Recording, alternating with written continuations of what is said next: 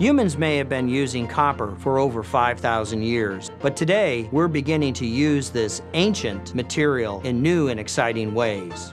My name is Keith Klontz. I am CEO of Advanced Motor Tech. Efficiency is a very big part of what goes into making a good electric motor. And the first place that we make motors more efficient is basically by trying to put more copper in the same amount of space or creating more space for more copper to fit. As we use more and more copper, it means that the energy cost is lower over the life cycle of the motor, and that's the type of economic choice we really want to be making.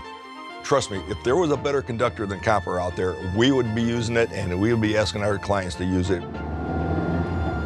My name is Michael Schmidt. I'm a microbiologist at the Medical University of South Carolina.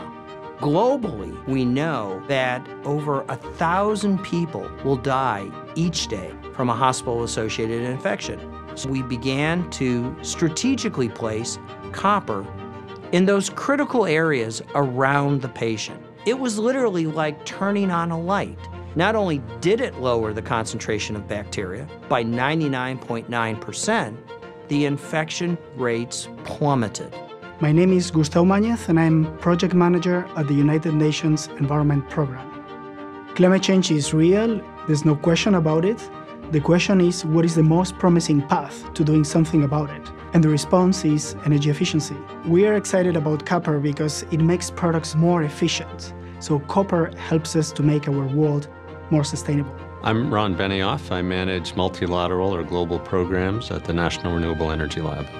It's absolutely vital that renewable energy technologies perform at the highest level possible at, at lowest cost. Copper is essential to the future of renewable energy because copper is one of the most efficient thermal electrical conductors we have, and it's a vital part of our renewable energy future.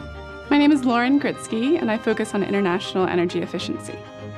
Energy demand is growing, especially in the developing world, where half of the buildings have yet to be built. Buildings consume about 40% of primary energy consumption throughout the world. The more copper that's used in a building, the more energy efficient it is. It basically does more with less energy.